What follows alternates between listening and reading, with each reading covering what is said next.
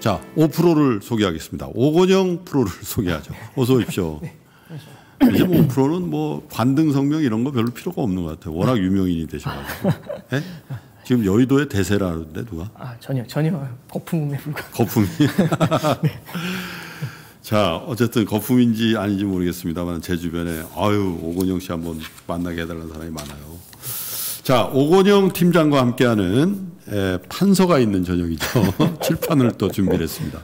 자, 지난주에는 일본 중앙은행, 네. BOJ와 인민은행이죠. 네. 에, 중국의 인민은행 얘기를 했는데 오늘은 메인 이벤트죠. 네. ECB와 FOMC 그러니까 연준의 금융통화 정책을 결정하는 회의 얘기를 해볼 텐데 일단 먼저 유럽 쪽으로 좀 가볼까요? 네, 아무래도 예. 이제 그 FOMC보다는 조금 좀 비중이 덜하긴 하지만 예. 지난주 금요일 날 아침에 이제 우리 이제 근로자의 날 아침에 이제 결과가 발표가 네. 됐는데요.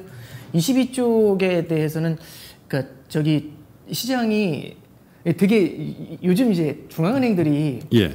뭐라고 해야 될지 모르겠습니다. 그러니까 되게 커뮤니케이션 기술들이 좋아져가지고 네. 이게 좋은 거야 안 좋은 거야 이제 딱 보면은 예. 그래서 뭐 어떻게든 이런 느낌을 되게 많이 주거든요. 네. 좋은 것 같기도 한데 아닌 것 같기도 하고 이제 뭔가 좀 이렇게 얼떨떨하게 만드는. 그래서 어떤 때는요 시장이 그날 반영하지 못하는 경우들도 있어요. 예. 그래서 원래 예전에는 막 그날 막 크게 요동을 치고 했는데 그날은 뭐지 이러다가 그 다음에 크게 움직이는 경우들이 좀 많았는데 예. 요번에 이제 ECB 같은 케이스도 좀 그런 케이스가 좀 아닌가 싶습니다. 그래서 네. ECB 얘기를 조금 먼저 좀 해드리고요. 네, 그 음량이 예. 약간 모자란다고 하니까 그 핸드 아. 마이크 저그 예. 테이블에 있는 마이크도 좀 같이 좀 쓰시면 예, 좋을 것 같습니다. 예, 죄송합니다. 예.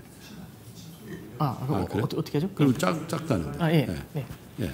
예. 일단 계속 해 주시죠. 네, 그럼 예. 이제 그좀 네. 쓰면서 좀 간단하게 또 마찬가지로 말씀을 좀 드리면 좋을 것 같은데요. 예. 이제 ECB에서 지금 현재 어떤 정책을 썼는지를 말씀드리기 전에 예. 현재까지 ECB가 해왔던 것들을 먼저 좀 적어드려야 예. 과거를 알아야 지금 나온 정책이 어떤 의미가 있는지가 좀 이해가 되실 것 같아요. 네. 그래서 이거 좀 간단하게 말씀을 좀 드리면요. 예. 어, 이제 ECB에서 쓰고 있는 건 뭐냐면은 예. 전부터 ECB는 이 QE라는 걸 원래 하고 있었어요. 네. 양적 완화라는 걸 아주 옛날부터 하고 있었고요.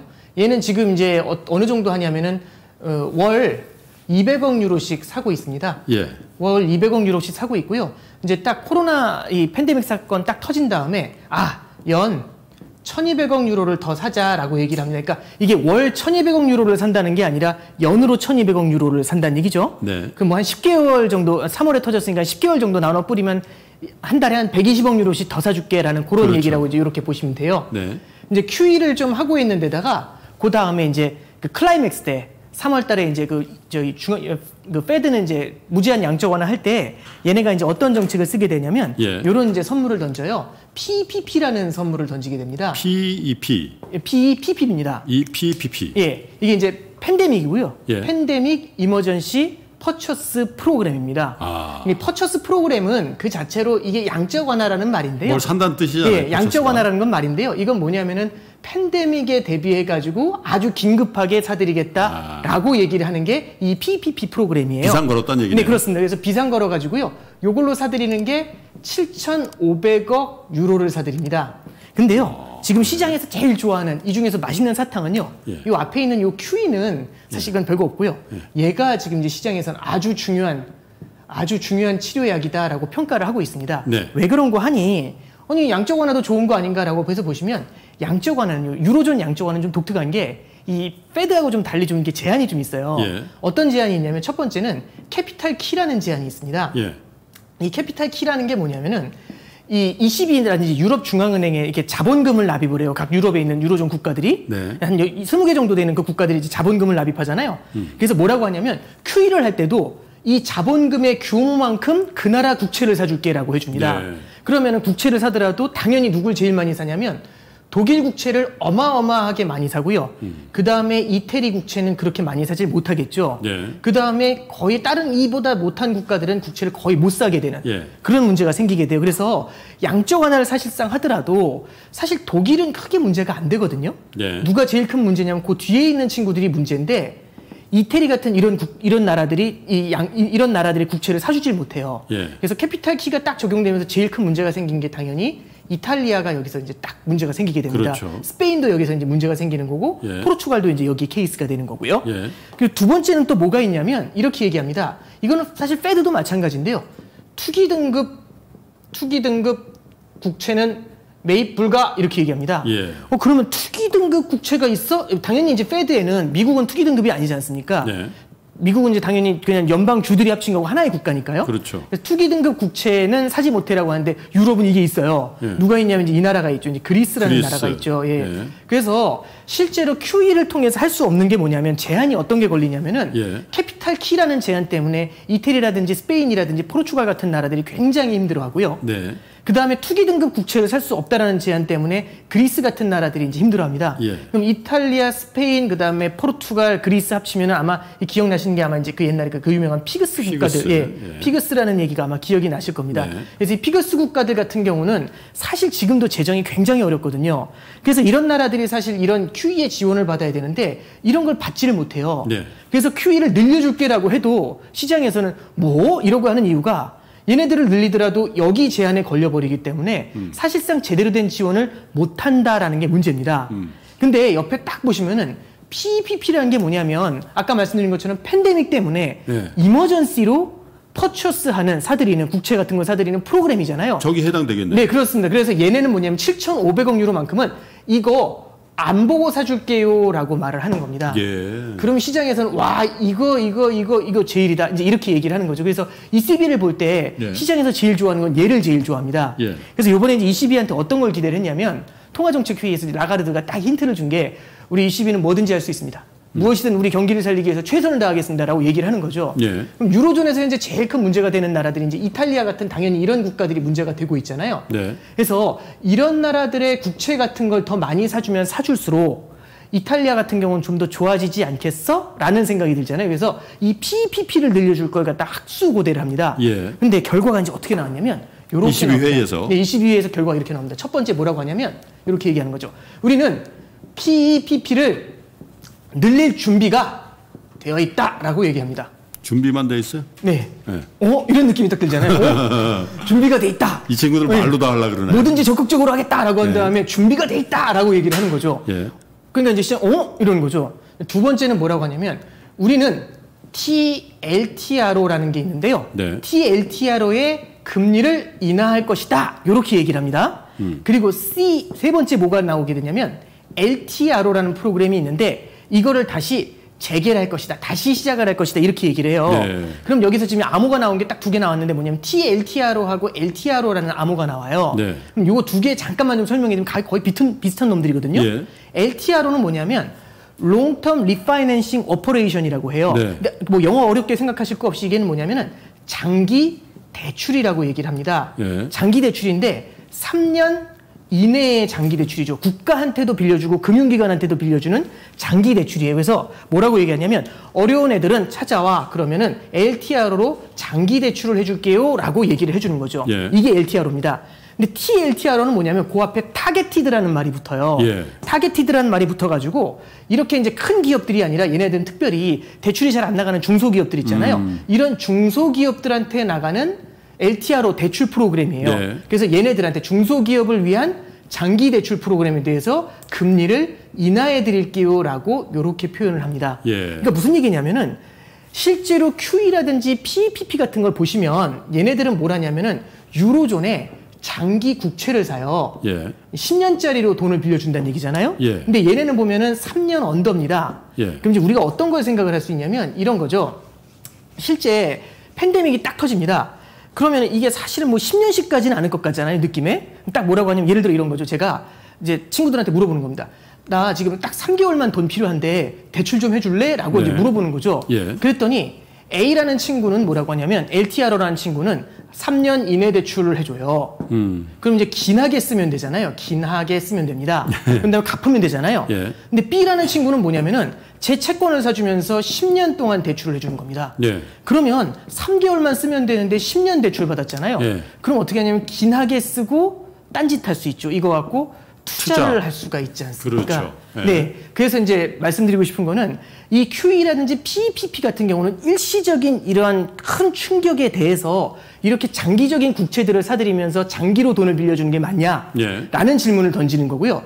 LTRO와 같은 대출로 넘어간다는 얘기는 이렇게 단기적인 이슈에 대해서는 빠르게 단기가 빠르게 만기가 찾아와가지고 회수가 가능한 예. 이러한 대출 쪽으로 전환을 하는 게 맞지 않겠어라는 얘기죠. 음. 그래서 이미 양적 완화를 통해서 굉장히 자금이 많이 나가 있지 않습니까? 네. 그래서 실제 시장에서 이제 느끼는 건 뭐냐면 22는 이거를 크게 늘리는 거에 대해서는 다소 부담스러워하는 거 아님이라고 물어보는 겁니다. 예. 그리고 그것 때문에 대신에 얘를 늘리지 않으면 시장이 흔들릴 것 같으니까 이거를 예. LTRO라는 걸로 돌려치려는 거 아닌가라는 생각을 하게 되죠. 예. 근데 결론적으로 다시 말씀드리면 아까 전에 이 QE로 가게 되면 장기적으로 자금이 쓰일 수가 있잖아요. 예. 그럼 뭘 하냐면 얘가 이제 딴짓을 하죠. 투자 같은 걸 하는 겁니다. 예. 근데 얘는 투자를 하는 수가 없는 구조잖아요. 아무래도 이쪽보단 동인이 적겠죠. 음. 그렇죠. 만기 자체가 짧으니까요. 3년 이내니까. 네, 그렇습니다. 그러면 시장에서는 이게 뭐지라는 생각을 하게 됩니다. 네. 음. 환호하다가. 그러면 이제 아까 전에 이제 말씀드렸던 것처럼 22한테 기대했던 건 뭐냐면 PEPP를 늘려줄 걸 굉장히 많이 기대를 했어요. 네. 근데 PEPP를 늘릴 준비가 돼 있습니다라고 얘기를 하는 거죠. 예. 어? 이렇게 얘기하는데 그때가 아 잠깐 실망하지 마십시오.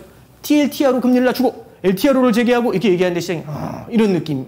이제 이런 걸 줬던 게 이제 22 케이스입니다. 예. 그래서 22에서 지금 하고 있는 거는 장기적으로 자금을 빌려주는 그런 정책들보다는 음. 오히려 이탈리아나 이런 데다 자금을 공급해주는 그런 정책들보다는 대출을 늘려주는 정책 이런 걸 노리고, 노리고 있는데요. 예. 이게 이제 뭐 어떤 문제를 갖고 있냐면 이 정치적인 이슈하고 좀 만나 있어요. 이 최근에 유럽에서 좀 난리가 난 사태 중에 뭐가 있냐면 예. 코로나 본드라는 게 있습니다. 네.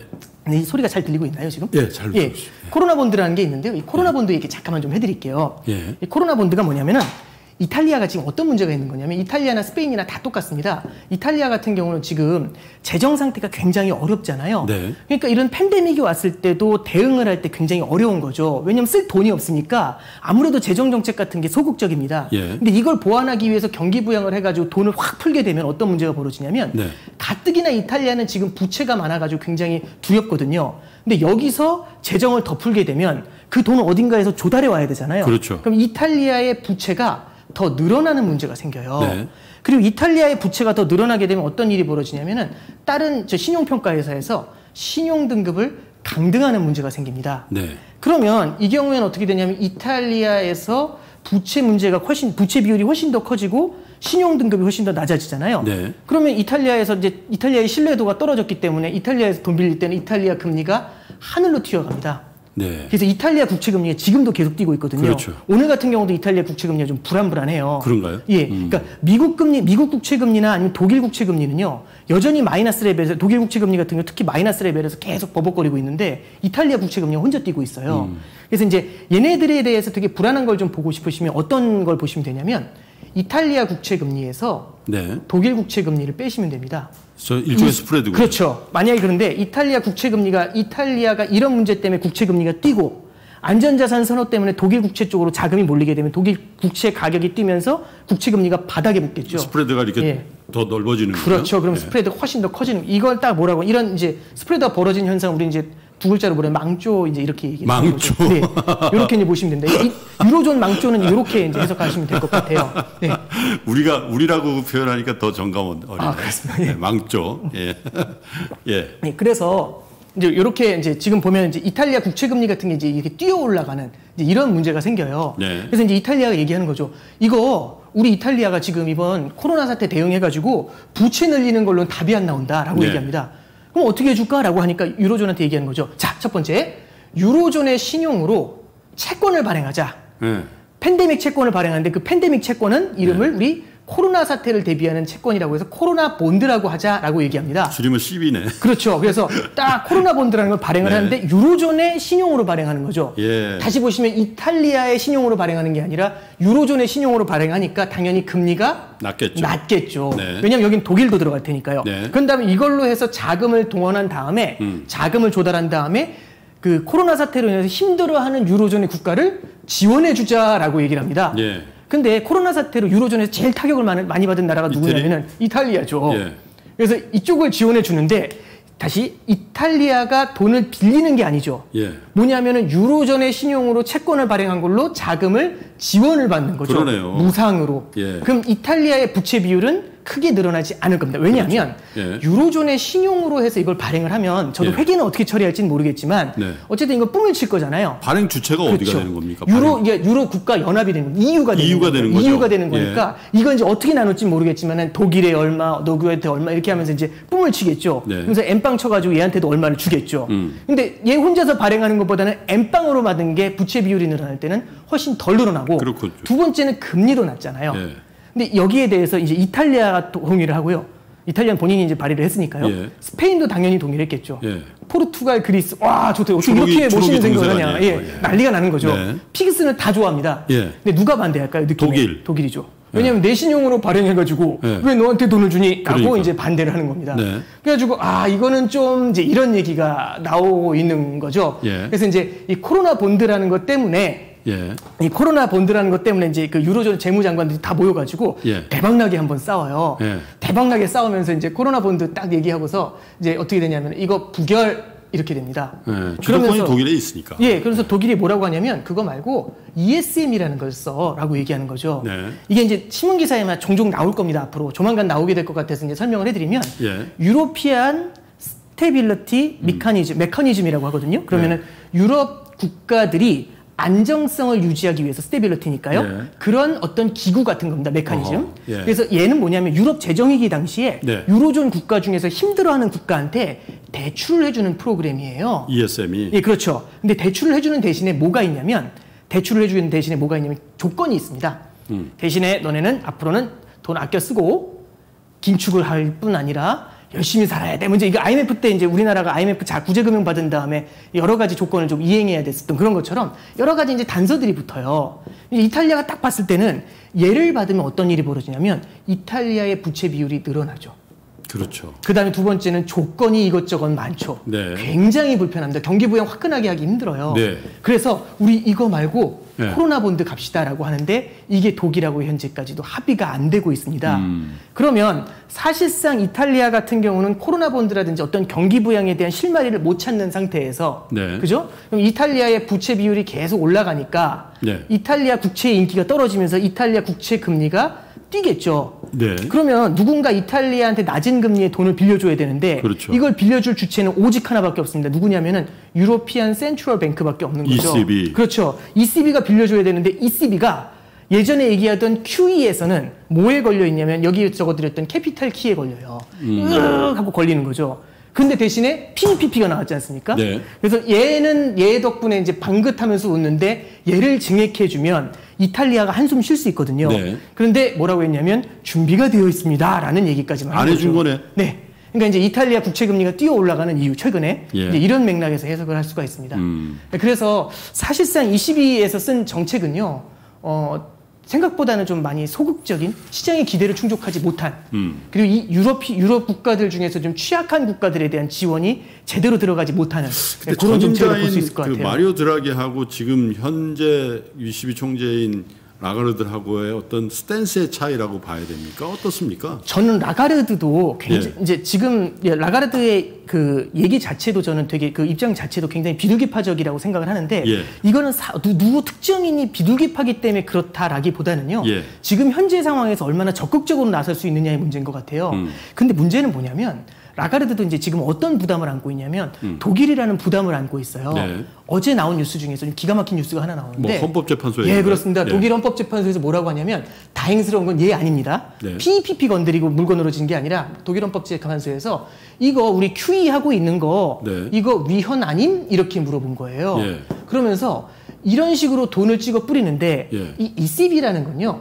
유로피안 센트럴 뱅크잖아요. 예. 유럽에 있는 중앙은행이고 각국마다 중앙은행이 다 있어요. 따로 있죠. 예, 그러면서 이 중에 이제 독일의 중앙은행이 분데스방크인데 예. 당연히 22에서 분데스방크의 입김이 가장 셉니다. 예. 뭐라고 하냐면 독일에서 하는 얘기가 자 그러면 우리 QE라는 거 이게 위헌이라면 우리는 분데스방크가 이 국채 매입을 하는 프로그램에서 빠질게요라고 얘기를 하는 겁니다. 사실 거의 안고가 다 빠지는 찐빵인 거거든요. 예. 아니, 그러면 좀22 자체가 의미가 있습니까? 그렇죠. 예, 그래서 큰 의미가 없는 겁니다. 그래서 네. 실제로 어제 그 얘기를 했는데 이제 22에서는 사실 이거 2015년 말에도 한번 이거 갖고 저 저기 독일 의회에서 한번 걸고 넘어진 적이 있어요. 네. 그래서 네. 이거 걸고 넘어진 거는 사실 여러 차례 왔었던 얘기인데 독일에서 네. 이런 거 이, 이게 이제 어떤 때마다 그러냐면은 이 유로존이라는 구- 그 조직 자체가 이제 미국하고도 좀 다른 게한 예. 국가 같은 경우는 좀 달라요. 음. 근데 여러 국가가 결합이 돼 있지 않습니까? 그러면 경기를 딱 볼 때 이런 거죠. 좋아지면 경기가 좋아지면 마구 풀던 돈을 줄이려고 하잖아요. 음. 근데 여기서 되게 어려운 게 뭐냐면 경기가 좋아지면이라는 말의 정의가 요게 뭐냐는 겁니다. 누구의 경기가 좋아지면이거든요. 아 그러네요. 그런데 예. 만약에 이런 거죠. 여기에 핵심이 독일이라면 예. 독일은 좋아지고 있거든요. 예. 독일은 아무래도 재정 부양을 많이 했었을 테니까요. 독일은 그래도 상대적으로 다른 나라보다는 개선이 되고 있는데 독일이 좋아지면 뭐합니까? 이탈리아나 이런 취약한 애들, 약한 고리들은 근데 다 눈물을 흘리고 보니까 있거든요. 독일이 예. 좋아지면 이탈리아 좋아지고 이런 구조가 안 나오더라고. 그런 독일 좋아지는데 이탈리아 still 안 좋은. 네, 이제 그게 어쩔 수가 없는 게 예. 시간이 조금 괜찮아요. 예, 한번 좀 이렇게 말씀 좀 드려보면 네. 이 유로존 자체가 예. 이게 좀 이게 좀 구조가 좀 독특해요. 예전에 이제 유럽 재정위기 설명할 때도 한번 말씀드렸지만 네. 이런 구조예요. 뭐냐면은 유로존 국가들을 이렇게 써놓으면 독일, 뭐 프랑스, 뭐 네덜란드, 그 다음에 이제 이렇게 쭉 내려가서 뭐 스페인, 이태리 뭐 이렇게 하고 쭉 내려가가지고 그리스 뭐 이런 식으로 이제 있을 거잖아요 그렇죠. 국가들이. 예. 그래서 한 17개, 18개 정도의 국가의 연합입니다. 지금 좀 늘어났을 텐데 얘네들의 국가 연합인데 같이 통화를 유로화라는 통화를 써요. 네. 모두가 유로화라는 통화를 쓰는데 이 유로 통화라는 건요. 예. 그 나라의 국력을 반영합니다. 신뢰도가 신용도가 낮은 국가들의 통화 가치는 떨어져 있어야 되거든요. 그렇죠. 그리고 신뢰도가 굉장히 강한 국가들의 통화 가치는 올라가 있어야 돼요. 네. 굉장히 높아야 되는데 이 딱 보시면은 이 유로화는 얘네들 전체의 힘을 균등하게 반영하잖아요. 예. 뭐 이제 이렇게 계산하면 안 되겠지만 그냥 절반 정도의 힘을 반영한다고 가정을 하면 그냥 스페인 정도의 힘을 반영한다고 해볼게요. 유로화는 스페인 정도의 힘을 반영한다 이거 그냥 가운데 딱 쳐가지고요. 그러면 독일 입장에서 봤을 때 유로화는요 자국의 힘 대비 평가 절하가 돼 있는 겁니다. 그렇죠. 그리스 입장에서 봤을 때 유로화는요 자국의 힘 대비 평가 절상이 돼 있는 겁니다. 엄청 절상이죠. 그렇죠. 네. 그러면 어떤 문제가 벌어지는 거냐면 자국의 힘 대비 통화가 평가 절상이 돼 있다는 얘기는 네. 적어도 그리스는 수출하기가 정말 어렵다는 얘기예요. 그렇죠. 그리고 그리스 독일 같은 경우는 자국의 힘 대비 통화 가치가 평가 절하가 됐잖아요. 유로존으로 묶이면서 네. 이러면 독일은 수출하기가 훨씬 더 유리하다는 얘기가 자동차 됩니다. 이런 거 엄청 잘 그렇죠. 그래서 독일은 제조업 강국이 될 수 있는 여건을 만들게 되고요. 예. 그럼 그리스나 이런 나라들은 힘들어지는 거 아니겠어?라고 해서요. 네. 이 나라들은 어떤 수혜를 받냐면 유로존이라는 해구산이 딱 들어왔잖아요. 네. 얘가 딱 해구산으로 씌워져 버리니까 그리스가 금 자금을 조달할 때 옛날에 그리스가 부채를 발행하면은 14%의 조달하고 그랬거든요. 예. 근데 해구산이 딱 쓰여져 버리니까 얘는 그리스의 신용이 아니라 딱 느낌에 호플리 유로존의 신용을 받을 것 같은 느낌이잖아요. 그렇죠. 그래서 금리가 앞에 일자가 사라집니다. 그러면 금리가 낮아지잖아요. 예. 금리는 돈의 값입니다. 금리가 싸지면은요. 자금에 대한 수요가 늘어나면서 대출을 많이 받아와요. 그렇죠. 그래서 그리스는요. 부채를 늘리면서 내수로 살아가게 됩니다. 이런 구조가 돼요. 네. 그럼 내수가 큰다는 얘기는 물건을 사들인다는 얘기잖아요. 그렇죠. 수출을 잘하는 독일의 물건을 사가지고 내수가 큽니다. 이런 그러네. 구조가 됐었어요. 그리스 사람들이 BMW 산다는 얘기네. 그렇죠. 그럼 이제 문제가 뭐냐면 이, 이 구조 자체는 뭐냐면은 예. 옛날에 독일은 예. 저기 90년대 통일하고 난 다음에 독일 경제 되게 안 좋았거든요. 독일병도 있고 네. 쉽지 않다가 유로존 통합하고 나서 5, 6년 만에 해결해 버려요 이 문제를. 음. 왜냐하면 이제 수출로 밀어주잖아요. 네. 얘네들은 대출을 일으켜가지고 내수를 키우고 얘가 수출하는 걸 받아 먹어주잖아요. 어. 그럼 얘는 무역 흑자가 쌓이게 되고 얘는 빚이 쌓이는 구조가 그렇죠. 됩니다. 그러니까 예. 뭐 조금 비유가 이상하긴 하지만 소 팔아서 서울에 뭐 이제 보내는 거죠.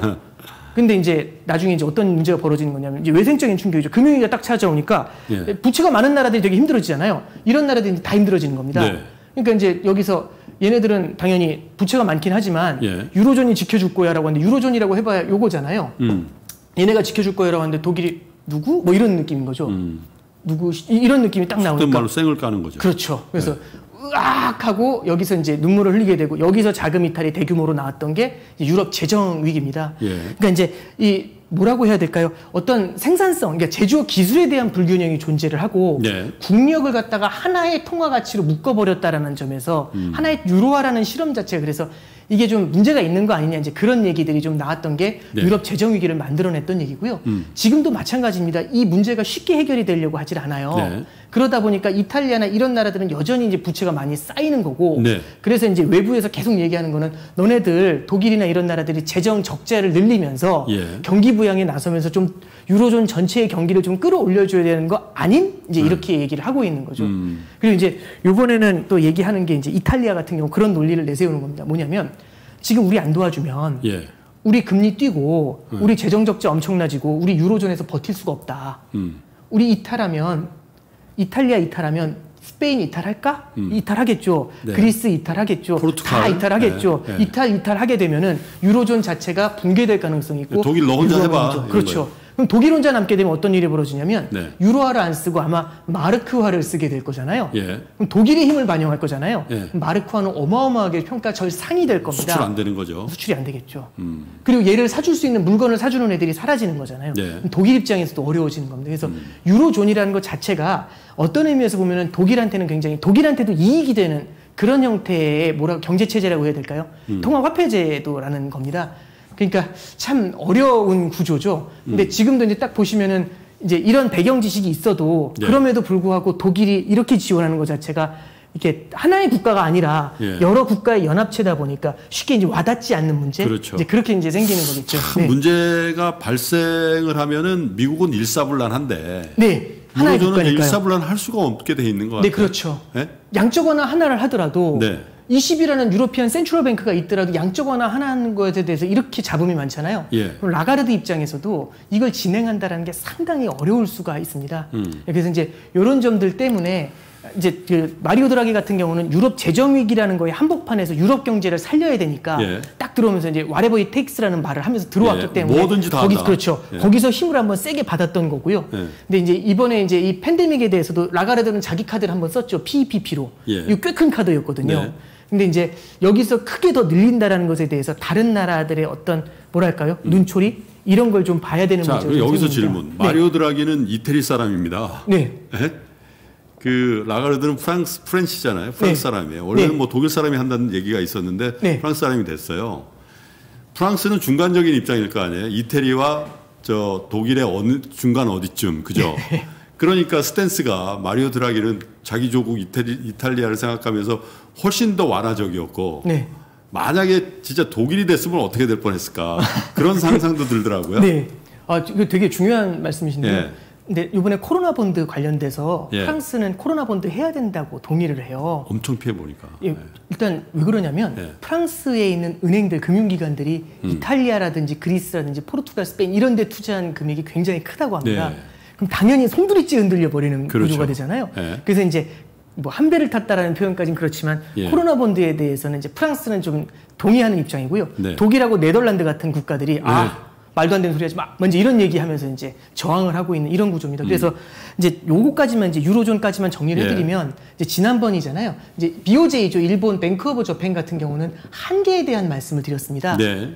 그 다음에 PBOC죠. 이제 이- 중국 인민은행 같은 경우는 뭐라고 해야 될까요? 금리를 내릴 수 있는 room이 있음에도 불구하고 자산 버블에 대한 두려움이 있기 때문에 네. 여기서 뭐라고 할까요? 소극적? 네. 자제? 네, 자제? 네, 그게 맞을 것 같습니다. 예. 그리고 이제 버블에 대한 두려움이나 위안화에 대한 가치 저- 가치 안정 예. 이런 거에 이제 포커스를 맞추면서 소극적으로 나서고 있고요. 예. 이 시비 같은 경우는 글쎄 뭐라고 표현한다기보다는 균열이라는 표현이 맞지 않을까. 균열. 예, 요런 표현이 맞지 않을까. 이 2010년대 들어가지고 유로존에서 자- 가장 자주 나타나는 이런 현상인 음. 그렇군요. 것 같습니다. 그래서 예. 이 셋에서는 사실상 시장이 만족할 만한 선물을 준 데는 현재까지 스코어로는 없는 것 같아요. 근데 뭐 그냥 말씀드리면 결국에는 이게 늘어날 것 같습니다. 음. 지금은 아니겠지만 꽤 네. 저항이 있겠지만 예. 시장이 지금은 더 지금 흔들리면 립서비스지만 더 어려워지면 쏠 수밖에 예, 없을 것이다. 어려워지면 쏠 겁니다. 알겠습니다. 그러지 않으면 이탈리아 문제가 해결이 안 될 것 같아요. 그래서 그 결정이 있은 22 중앙은행 저 유럽 센트럴 뱅크의 결정이 있은 다음에 유럽 시장은 어떻게 반응을 했습니까? 유럽 시장 같은 경우 이탈리아 국채 금리가요. 예. 이제 이렇게 돼요. 이탈리아 국채 금리가 확 올라가다가 네. 진, 지난주였나요? 지지난주였나요? 이제 이탈리아 신용 등급이 강등되질 않아요. 원래는 예. 강등된다라고 생각하고서 금리가 뛰다가 예. 막 뛰었거든요. 네. 근데 이제 딱 지난주에 이제 요, 그, 그 신용 등급 강등이 딱 안 나오니까 후 다행히 하면서 금리가 내려왔거든요. 이탈리아 예, 국채 금리가. 이탈리아 구- 금리가 국채 금리가 내려왔다는 건 국채 가격의 강세입니다. 예. 이탈리아 국채에 대한 신뢰가 생긴 거죠. 근데 딱 이 PEPP 딱 나온 다음에 으 하고 또 다시 올라와 있는 실망. 예. 이런 상황입니다. 대신에 독일 국채 금리는 이렇게 내려와 있는 네, 네. 그런 상황이라고 보시면 돼요.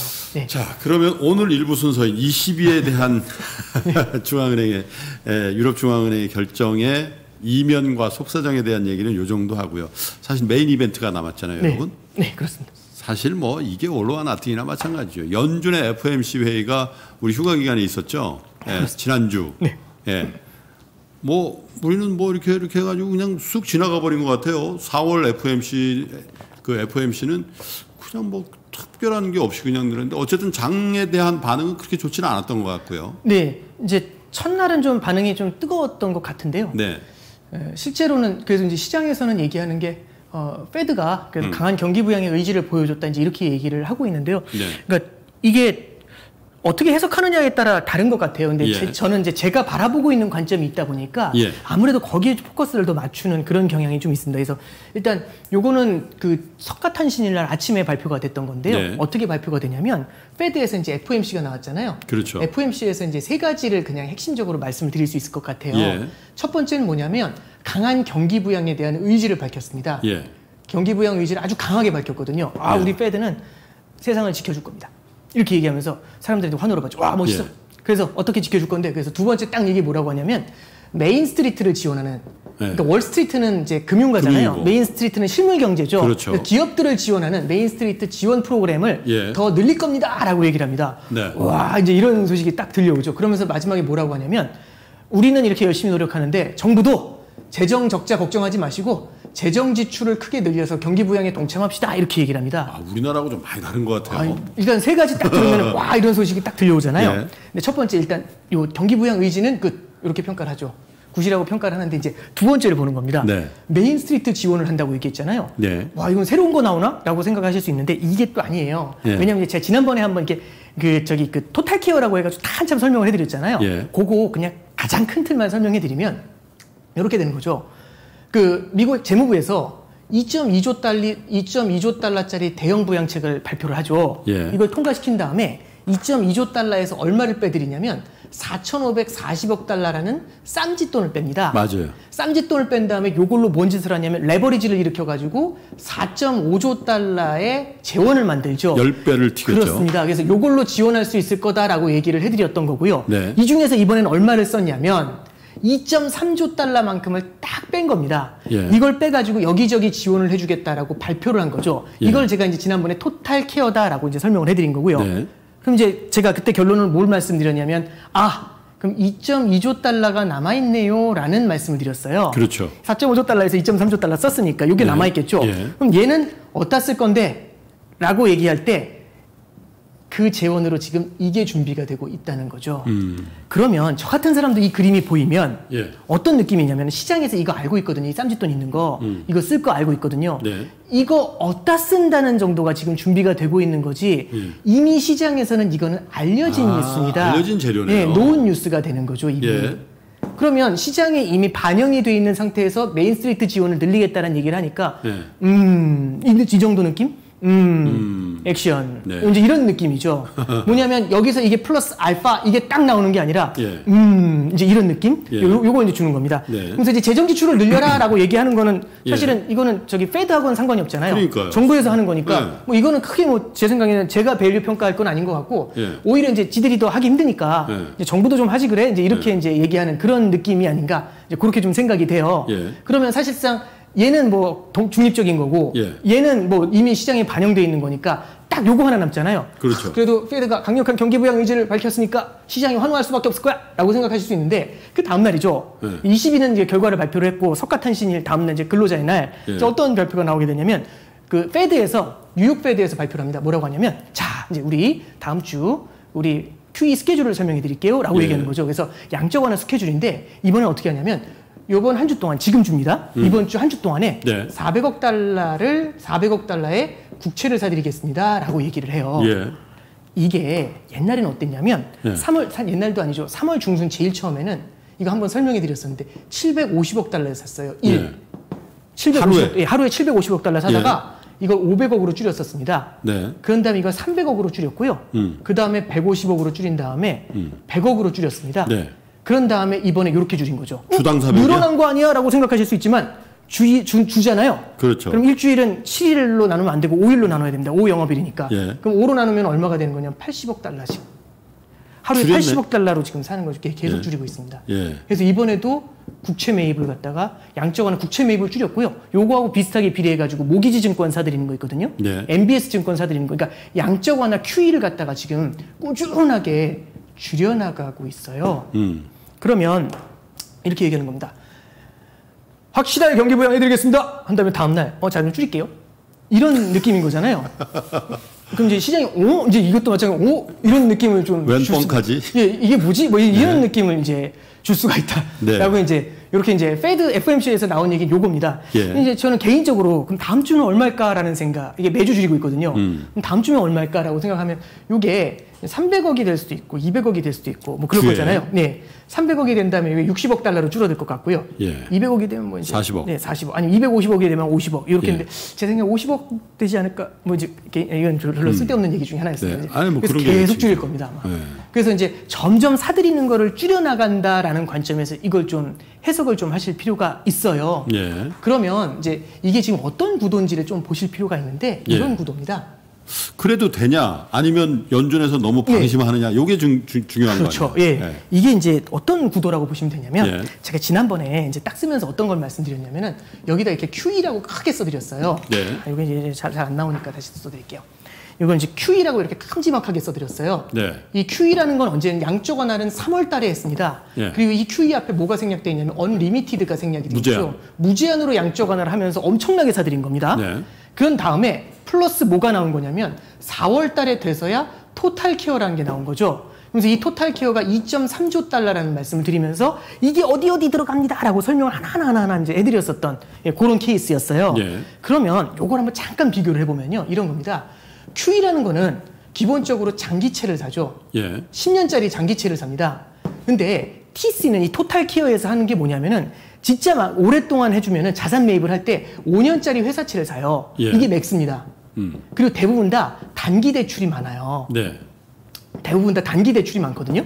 그러면 실제로 어떤 일이 벌어지는 거냐면 QE는 돈을 풀어주잖아요. 그럼 그렇죠. 10년이 지나야 만기가 돌아옵니다. 예. 이걸 회수하는 방법은 양적 긴축이라는 방법이 있는데 예. 양적 긴축을 하면은 발작을 하거든요, 시장이. 발작. 그래서 함부로 양적 긴축한다는 생각이 안 들어요. 그래서 음. 양적 긴축하면 되잖아. 10년 풀어줘. 이렇게는 못 하고요. 아, 이거는 좀 나중에 회수하기 힘들 것 같은데 아까 20하고 똑같아요. 3개월 돈 필요한 애한테 10년짜리 해주냐 네. 아니면 3개월짜리 해주냐 이 문제거든요. 그렇죠. 3개월짜리 해주면 긴하게 쓸게요고 예. 10년짜리 해주면 긴하게 쓰고 투자도. 할게요라는 얘기까지 나오는 겁니다. 네.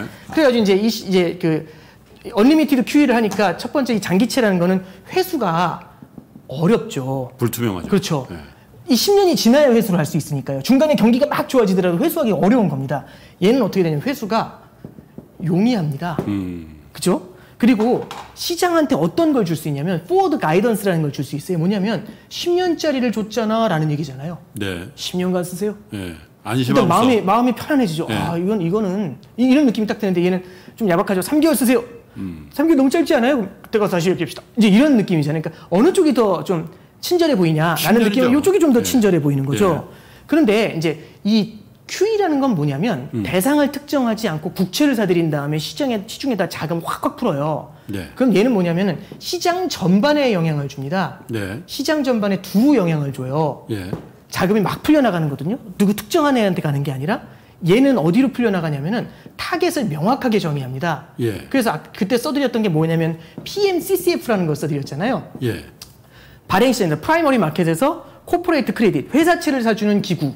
예. 그 다음에 secondary market에서. corporate credit에서 사주는 그렇죠 회사채를 정확하게 회사채를 삽니다 발행시장에서 유통시장에서 그 다음에 지방채를 삽니다. MLF라는 걸 해줬고요. 네. 그 다음에 TALF라는 걸 해가지고 CLO 같은 거 사주겠다. 음. 그죠? 그 다음에 CMBS, 그러니까 모기, 상업용 모기지채권 사주겠다. ABS 사주겠다. 이런 얘기를 하는 거고요. 그렇죠. 그 다음에 마지막으로 PPP라고 해가지고 급여 관련된 맞습니다. 급여 보호를 위해서 자금 지원한다. 그러니까 얘는 타겟이 명확합니다. 예. 그러니까 얘는 뭐라고 해야 될까요? 정밀 타격이라고 얘기를 하죠. 그러니까 투자 같은 것도 엄한 짓 하지 말고 그렇죠. 여기다가만 딱 써. 주사를 놔주는 거죠. 예. 얘는 보약을 주는 거고, 얘는 아. 딱 주사를 놔주는 그런 구조가 되는 겁니다. 네.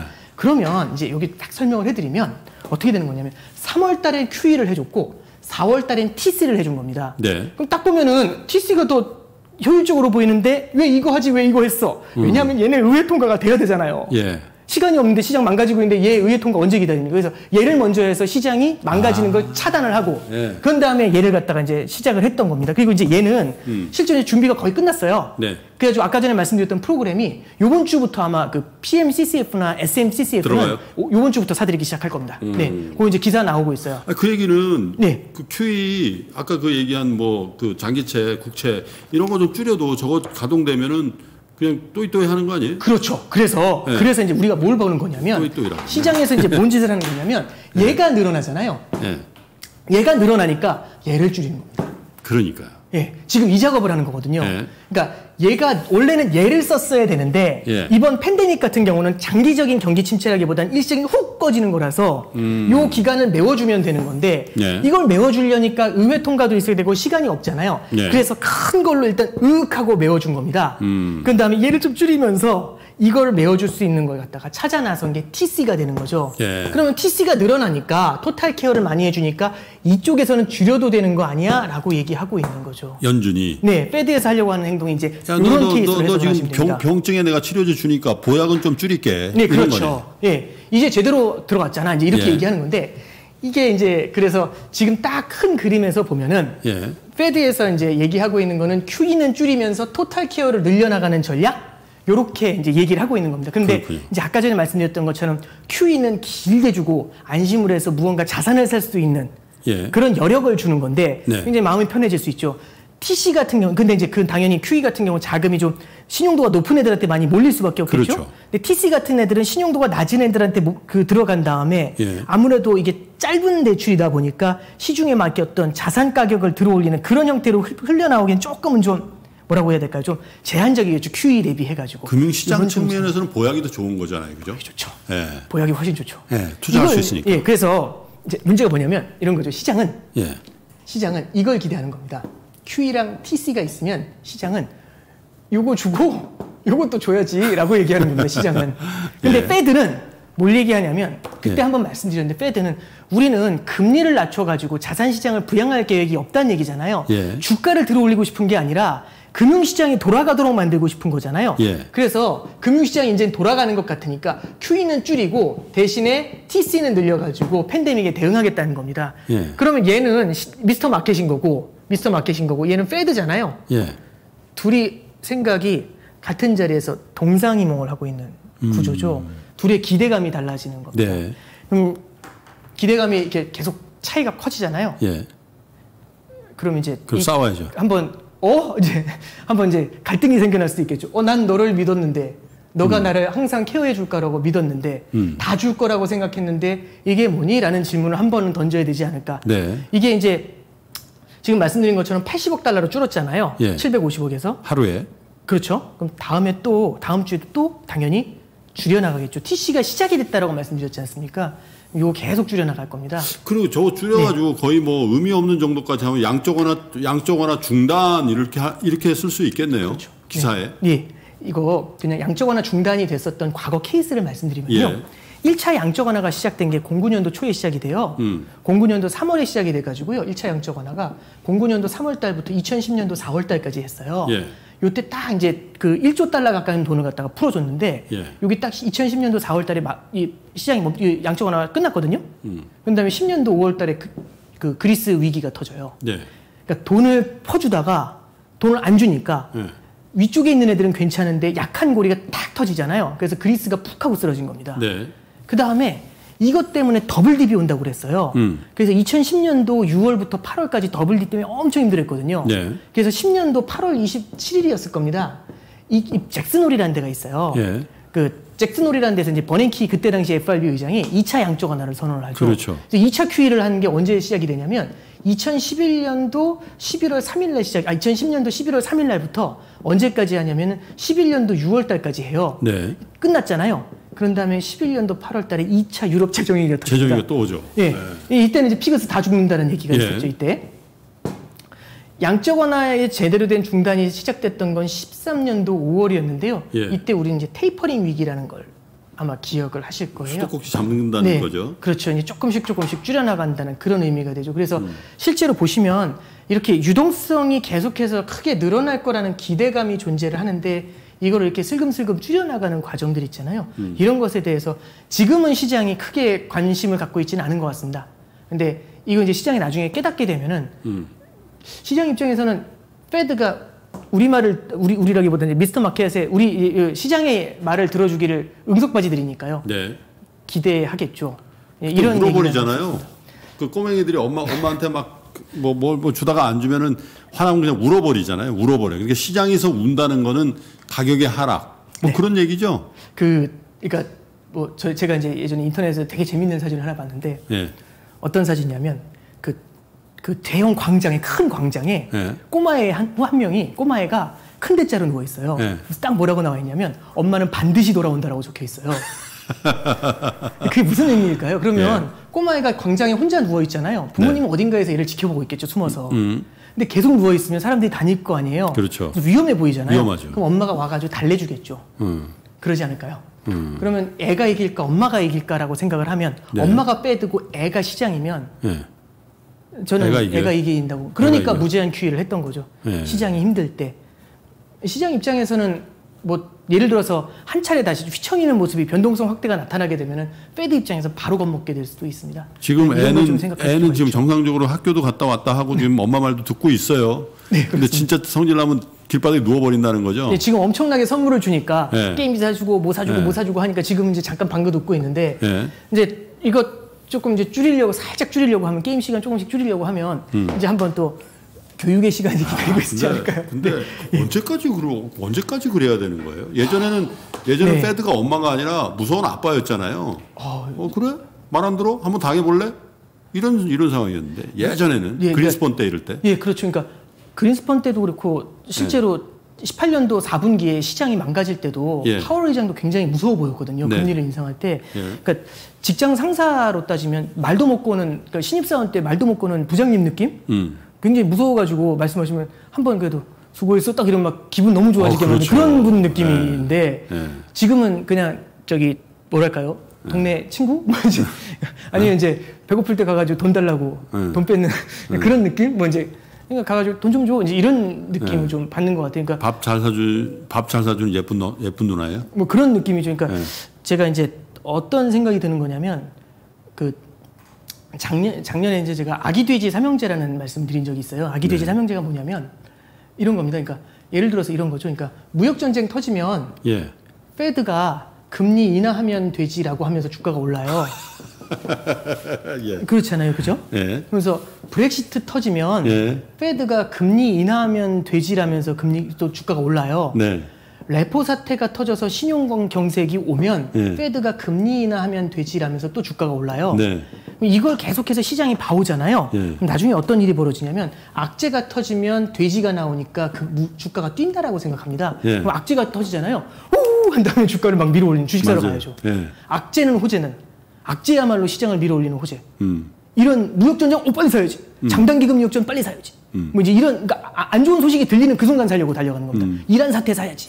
뭐 지금 왕돼지가 출연한 거죠 지금 사실은. 그렇죠. 아니, 다 죽게 생겨 다, 다 죽습니다. 그러니까 돼지 삼형제가 아니라 돼지를 때로 그냥 풀어버린 거 아니에요? 예, 지금 이제 아주 그래서 시장이 되게 이제 방만해지는 이제 뭐랄까요 이게 그런 것 같아요. 예. 이제 지금 보면은 그림을 하나만 지금 시간이 얼마 아, 괜찮아요. 괜찮나요? 예. 예. 예. 그림을 하나 좀 그려드리면 지금 이런 문제가 좀 있을 것 같습니다. 그러니까 음. 페드가 이렇게 존재하잖아요. 네. 요거는 펜을 좀. 숨겨놓을게요. 예. 예. 어, 거- 검은색이 아 여기 예. 이제 다시 다시 쓰면은 예. 페드가 이렇게 이제 있는 거잖아요. 예. 페드가 지금 이렇게 수도꼭지에서 물을 틀고서 자금을 엄청나게 흘려보내고 있습니다. 예. 자금을 엄청나게 흘려보내면 페드는 국채를 사들이면서 자금을 흘려보내니까 실제로 국채 시장 쪽으로는 자금이 차요. 예. 국채 시장 쪽으로 자금이 차면서 국채를 많이 보유하고 있던 애들이 국채를 팔면서 현금을 받게 되거든요. 네. 그럼 얘네들이 누가 있냐면 은행들이 이 자금을 받게 돼요. 예. 그럼 얘네들이 자금이 너무 많이 쏟아지게 되면은 자금이 잉여가 됩니다. 예. 자금이 남아 돌아요. 그러면 자금이 남아 돌게 되니까 이걸 갖고 어딘가에 투자를 하거든요. 그렇죠. 럼 어디를 먼저 사들이게 되냐면은 요 밑에 있는 우량 회사채를 잔뜩 사들이게 돼요. 예. 우량 회사채 시장으로 자금이 몰려가면서 여기가 가득 차게 됩니다. 그러면 우량 회사채 시장 쪽에서는 어떤 일이 벌어지냐면 이런 네. 일이 벌어져요. 네. 너도 나도 우량 회사채에 들어와 가지고 돈을 빌려주려고 하니까 갑자기 지난 3월 중순만 해도 아무도 이 회사채를 안 살려고 했거든요. 돈 빌리기가 어려운데 이제 이런 느낌이죠. 이번에 팬데믹이 얼마나 갈지 몰라. 네. 현금이 너무너무 필요할 것 같아. 걱정돼 죽겠어 해가지고 첫 번째는 불안에 대한 수요 때문에 달러 현금을 보유하고 싶었어요. 예. 근데 이제 두 번째는 지금 어떻게 되냐면 불과 한 달 만에 줄을 서가지고 저한테 돈을 빌려주겠다고 하는 거죠. 예. 그럼 누구한테 돈을 빌려야 되냐면 거기 얼마라고요? 그러면은 0.9%요. 너무 높아요. 네. 0.75요. 조금만 더. 0.7이요. 콜 이런, 이런 느낌이잖아요. 네. 그러니까 금리가 워낙에 낮아진 겁니다. 국채 가격이 뛰니까 음. 이 우량회사채 가격이 뛰면서 네. 그러면 금리가 낮아지니까 지금 같은 경우는 어떤 야 이때 땡겨놓자라고 해가지고요. 네. 지금 회사채 발행이요. 엄청 는다며. 3월 4월에 사상 최대치를 찍습니다. 그러면 예. 우량 기업에 지금 돈이 고프냐, 아니면 이 밑에 있는 high yield grade가 돈이 급- 고프냐, 위험자산. 그렇죠. 위험자산 high yield grade하고 요 맨 밑에 있는 emerging 국가들이 돈이 고프냐라고 하면 이쪽은 돈이 고파요. 엄청 고픈데 지금 여기서 돈 먹는 하마가 빨아들이고 있는 거기서 그런 구조로. 않네. 네. 그러면 페드가 이제 보는 겁니다. 자 경기가 좋아졌나 이거 딱 밑을 내려다 보니까 페드가 밑을 내려다 보면 얘네가 보이잖아요. 예. 얘네는 안정돼 있는 거죠. 예. 어? 안정됐네. 그러면 자 수도꼭지 잠급시다 한 다음에 여기를 잠그기 시작을 해요. 예. 그럼 조금씩 줄여잖아요. 예. 그럼 얘네는 지금 자금이 잉여지 않습니까? 예. 잠그면 여기엔 자금이 잉여니까 이쪽으로 계속 쏠려요 돈이. 예. 문제는 이쪽으로 돈이 들어가겠죠.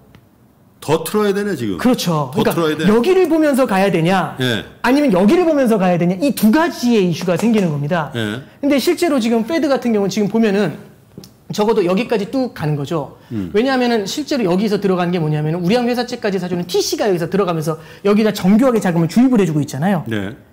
high yield grade까지는 지원을 해주진 않지만 음. 그래도 전체적으로 자금을 몰아 넣었을 때 이쪽이 조금 차긴 시작은 해요. 음. 근데 문제는 뭐냐면 미국 자체에 대한 정책이잖아요. 그렇죠. 해외에서 달러 자금이 고픈데 이쪽으로 해외로 자금이 풀려나가는 방법은 현재는 그렇게 크지가 않은 근데 그 겁니다. 통화 수합 플러스 저기 국채 삐말을 국채, 했었죠. 네, 국채 예. 맡기는 그거 그게 저거 저걸 이머징 마켓을 위한 정책이라고 하지 않았나요? 네, 그렇게 이제 말씀을 드렸지만 통화 수합이라는 것 자체도 실제로 이머징 국가들 중에서 취약한 국가들한테는 해주지 않았고요. 아, 한국 같은 나라. 예, 이머징 국가들이 너네가 보유하고 있는 미 국채가 있다면, 미국 국채가 있다면 가져와. 담보로 현금 줄게. 이 얘기를 한 거거든요. 네. 근데 형, 다, 그 미국 국채가 많으면 걱정할 것도 없겠죠. 그렇죠. 이 문제가 많이 이제 생기는 겁니다. 그래서 이쪽에서 자금을 갖다 잠그기 시작을 하면 이 위쪽이 흔들리는 게 아니라 밑에서부터 막이 집안이 흔들리기 시작을 네. 해요. 그래서 지금 브라질 헤아라 환율이라든지 터키 리라와 환율 같은 경우는 지금. 사상 최저치입니다. 예. 예. 터키 리라와 같은 경우는 사상 최저치로 폭락해 있고요. 예. 지금 여전히 러시아라든지 그러니까 이렇게 돈을 많이 풀었는데도 불구하고 이 이머징 국가들에서는 달러 수급이 안 돌아가는 그런 문제가 생기고 있어요. 어허. 그러니까 돈을 많이 풀어도 그러니까 이런 거죠. 달러의 가치라는 값이라는 거는 공급하고 수요로 결정이 되지 않습니까? 예. 많은 분들이 그 질문하세요. 아니 페드가 무제한으로 돈을 푼다면서 왜 달러 가치가 안 떨어지지? 공급이 늘었는데 네. 문제는 수요도 많잖아요. 어. 가치가 안 떨어지죠. 예. 지금 그래서 전 세계가 이걸 이걸 왜냐면은 팬데믹 때문에 네. 대출이 언, 이게 많이 이어지게 되면 대출 받을 현금을 미리 확보를 해야 되지 않습니까? 음. 그럼 전 세계에서 금융 거래가 대부분 다 달러로 일어나잖아요. 네. 그럼 돈 갚아야 될 때 당연히 달러로 갚아야 되니까 달러로 갖다 미리 쟁여두려는 수요가 있는 거죠. 음. 그럼 달러 가치가 안 떨어지고 버티고 있겠죠. 그리고 여기 보시면 얘네들이 돈 먹는 하마가 쫙쫙 빨아 들어가지 않습니까? 저런 측면에서 보면 외국인 매도가 줄지 않는 이유를 알겠네. 예. 아, 외국인이 이제 수도국 쫙 해가지고 차고 넘치면은 이쪽으로 가야 되는데 오히려 빨아들이고 있다라는 건 네. 아직까지도 불안한 거예요, 그죠? 네, 그렇죠. 어. 그러니까 아까 전에 양적 완화가 중단됐을 때 미국이 흔들렸다는 말씀드린 게 아니라 양적 완화가 중단되니까 그리스가 털렸다는 말씀을 드렸잖아요. 네. 왜 유럽이지? 네. 약한 골이잖아요. 어. 이제 이런 관점에서 좀 보실 필요. 그래서 제가 이제 지난 몇, 며칠 동안 계속 몇 번 계속해서 말씀드릴 게 이제 이머징의 환율을 좀 보실 필요가 있다. 네. 이머징의 환율을 좀 주의해서 보실 필요가 있다라는 얘기했고 그 다음에 유로존에서는 이탈 이태리 국채 금리 이거 좀 주의해서 보시자. 그리스 금리 이런 걸 좀 보실 필요가 있다라고 음. 말씀드렸던 이유가 얘네들이 이 밑단에 있기 때문입니다. 얘들한테 자금을 지원해 줄 수 있는 페드가 밑을 보니까 괜찮아 보이거든요. 괜찮아지면 잠깁니다. 왜냐면 여기 자산 버블이 생기는 걸 걱정하기 때문이죠. 네. 예, 그러면은 이걸 잠그는 과정에서 이제 밑이 흔들리게 되는 그런 문제가 생기는 거고요. 그리고 이제 마지막으로 하나만 더 말씀을 네. 드리면 예. 이런 이슈가 생기는 것 같아요. 예. 어제 뉴스가 나왔는데 어떤 뉴스가 나왔냐면 트럼프 행정부에서 뭘 한다냐면 국채 발행을 늘린답니다. 네. 국채 발행을 늘린다고 하는데 국채 발행이 얼마 정도 되냐면 2분기에 3조 달러를 땡긴답니다. 예. 이거 원래 1년 동안 땡기는 게 1조 달러 조금 넘게 땡길 경우가 보통 많거든요. 많이 땡기면 1조 달러 너- 보통 조금 넘게 땡기거든요. 예. 이번에 3조 달러 땡겨요. 예. 아니 뭐 저 팬데믹이니까 많이 땡겨야지라는 생각을 하실 수 있는데 일단 시장에서 2분기에 3조 달러가 쏟아집니다. 예. 국채 발행이 금리 올라가네요. 예. 3분기에 7천억 달러 추가요. 이제 이렇게 얘기하는 거죠. 예. 그럼 여기서 경기부양책이 통과되면 박수를 칠 게 아니라 경기부양책이 촉- 통과가 되면 4분기에 추가요라는 얘기가 나오는 거잖아요. 예. 잘 생각해 보시면 이게 무슨 의미가 되냐면 지금 이 grade에서 제가 방금 전에 말씀드린 건 회사채가 돈 먹는 하마로서의 역할을 했지 않습니까? 돈 뿌린 걸 훅 하고 빨아들여 갔다고 했잖아요. 음. 얘가 빨아들입니다, 이제. 네. 얘가 빨아들이면 Fed가 지금 며칠 동안 지난 두 달 동안 빨아들인 또 풀어놓은 달러가 2.5조 달러를 풀었거든요. 예. 근데 여기서 지금 3.7조 달러를 6개월 동안 땡긴다는 거잖아요. 네. 훨씬 많죠. 그럼 이제 이게 뭘 만들게 되냐면 사실상 달러에 대한 수요를 더 늘리게 되는 문제가 생기게 되는 겁니다. 그러면 네, 밑에까지 오질 않고 국채가 먼저 다 빨아들이고 회사채가 빨아들이고 나면 이쪽에서 받아들일 게 별로 그러니까 민간에서 거죠. 자금을 땡길 네. 게 별로 없어지는 대신에 얘들한테 total care로 도와준다고 하지만 네. 사실 total care에도 high yield grade 도와주는 거는 이렇게 얘기를 해요. 뭐냐면 아까 전에 SMCCF라고 말씀드렸잖아요. 네. 유통시장에서 credit corporate를 크레이 그 corporate credit을 준다는 거, 회사채를 사준다는 건데 junk grade에 있는 애들은 어떤 것만 사주냐면 회사채 ETF가 있어요. 네. 회사채 ETF에 high yield grade를 조금 담고 있는 경우 이 ETF를 사준다는 거죠. 그러니까 비율이 굉장히 미미해요. 어. 얘한테 가는 떡고물은 그렇게 크진 않거든요. 물론 아예 안 가는 것보다 낫지만 예. 아주 크진 않습니다. 근데 여기서 이렇게 이제 자금을 땡긴다라는 게 굉장히 큰 이슈가 될 수가 있습니다. 그렇군요. 그러면 딱 이렇게 그냥 이 판으로만 봐도 아 이거 문제가 크겠네라는 생각이 드시잖아요. 그래서 저는 좀 생각하는 게 그 시기가 언제가 될지 는 모르겠지만 이렇게 되면은 국채 시장에서 국가가 나서 가지고 돈을 쫙 빨아들이잖아요. 돈을 쫙 빨아들이면은 시중에 돈이 모자라게 되니까 금리가 뛸 수밖에 없죠. 그렇죠. 금리가 뛰면 전체 경기를 다 뒤흔들어 버릴 겁니다. 예. 예, 그러면은 이제 당연히 페드가 또 뭘 해야 되냐면 이걸 다시 해야겠죠. QE. 예, 이걸 다시 해야죠. 그래서 요즘 미국에서 나오는 단어가 뭐냐면 예. 아까 1차 QE, 2차 QE 말씀드렸잖아요. 3차 QE가 2012년에 있었어요. 네. 이번에 하는 QE가 이제 QE4거든요. 네. QE4인데 요즘 얘기가 어떻게 났냐면 QE4 여기 밑에 ever라고 Forever. 요즘 이렇게 많이 이렇게 QE 붙었습니다. forever. 네, QE4ever 아 되게 예쁘게 나오잖아요. 예. 아 이거 와 진짜 사람들 머리 좋다. 진짜 이 생각. 되게 많이 했어요. 예? 이거 나올 것 같고요. 예. 이거나 아니면은 지난번에 말씀드렸던 일드캡 있지 않습니까? 네. 이게 나와 줄 것 같습니다. 저런 게 나오면 장은도 한번 세우겠네요. 네. 그죠? 그리고 이제 이건 결국에는 달러라는 종이화폐 공급을 다시 무한대로 늘리는 거잖아요. 음. 이거는 당연히 달러의 반대편에 있는 애를 갖다가 자극하죠. 걔가 누구냐면 금이 금. 될 겁니다. 그래서 금 사야 된다. 음. 예, 금 가격에 대해서는 저는 그래서 긍정적으로 좀 본다는 말씀드린 이유가 이제 이런 맥락. 저렇게 되면은 결국 다시 작년에 한때 우리가 굉장히 많은 얘기했던 예? MMT 얘기가 나올 수 있겠군요. MMT는 궁극적으로 그러니까 예. MMT라는 표현보다는 이제 예. helicopter money라는 표현이 조금 더 맞을 거예요. 네. 그래서 헬, helicopter money라는 거는 유통 시장에서 국채를 사들이는 게 아니라 예. 바로 발행 시장에서 정부한테 바로 돈을 줘버리는 그렇죠. 거거든요. 예. 그러니까 유통 시장에서 국채를 사들이게 되면 예. 유통 시장에서 국채를 사들이게 되면 그 돈이 은행으로 흘러 들어가요. 그렇죠. 시중은행이 판단을 해 가지고 자금을 뿌리거나 음. 판단해도 별로 답이 없다라고 생각하면 은행이 자기들의 초과 지준 계정에다 박아 놓거든요. 네. 은행에 쟁여 놓고 풀지를 않아요. 음. 근데 대신에 풀질 않으니까 이 돈 쟁여놓고 손해 보는 거 아니야 해가지고 은행들한테 뭘 주냐면 이자를 줘요. 그래서 음. IOER이라고 하는 게 있어요. 네. interest on excess reserve라고 해서 은행들이 과도하게 현금 주고 현금 쥐고 있는 거에 대해서 이자를 좀 줄게라고 얘기하거든요. 네. 이거 지금 0.1% 주고 있습니다. 그러니까 0.1%만큼 이자를 주니까 아예 갖고 있자. 금액이 크니까 이제 이렇게 하는 거거든요. 예. 그래서 이제 시- 실제로 QE를 통해 가지고 유통시장에서 국채를 사면서 달러를 뿌리잖아요.